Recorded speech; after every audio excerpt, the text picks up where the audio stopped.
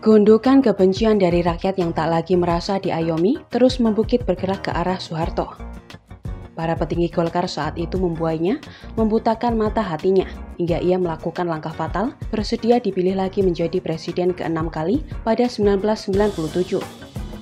Padahal, almarhum Dr. Ruslan Abdul Ghani, seperti yang diceritakan pada Sulastomo, pernah diminta Ibu Tin untuk membujuk Soeharto agar menolak jika dicalonkan kembali menjadi presiden.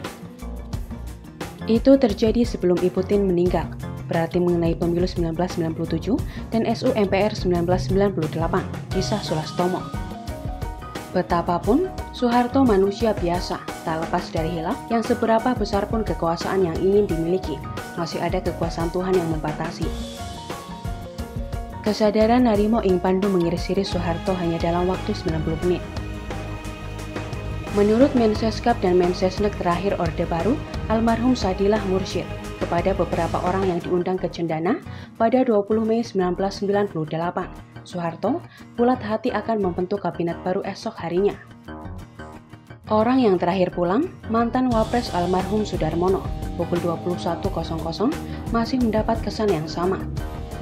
Tapi ternyata pada 22.30 Soeharto memanggil Sadilah Mursyid untuk menyiapkan segala sesuatu karena besok Soeharto ingin mundur. Ia merasa ditinggalkan semua orang kepercayaan.